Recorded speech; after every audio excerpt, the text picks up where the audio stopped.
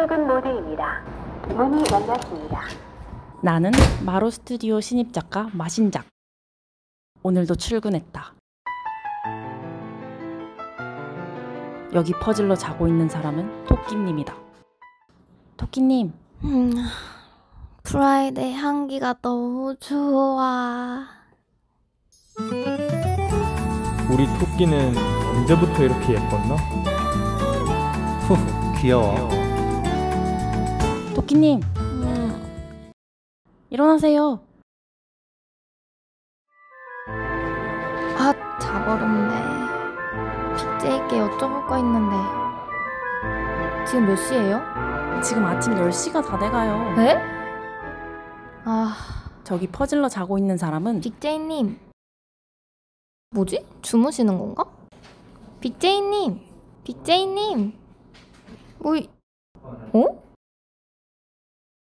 어? 뭐지? 죽어버린 건가? 어, 가망이 없는데? 그럼 아쉬운 대로 귤님이라도?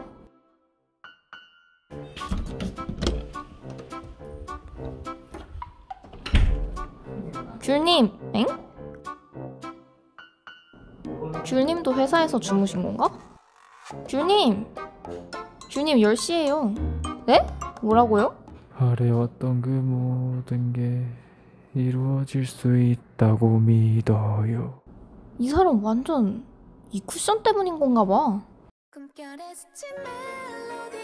6월 27일 마침내 샤이니스타 쿠션 판매 개시 멜로디와 프라이데이를 내 가슴에 품고 잠들 수 있는 기회 꿈결에 스친 멜로디를 놓치지 마세요 한정 판매 시작부터 품절임박 지금 바로 주문하세요 아유, 또 잠들어 버렸네요.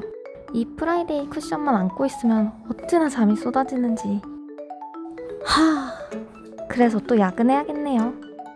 그래도 프라이데이와 함께니까요. 아, 나도 모르게 그만 멜로디와 함께 있던 현실이 아닌 이 세상의 그런 경험. 제가 주인공인 다큐를 찍는다고 하셔서 조금 기대하고 있었는데 저는 초반에만 잠깐 나오고 정말 어이없 이건 갑자기 왜 시...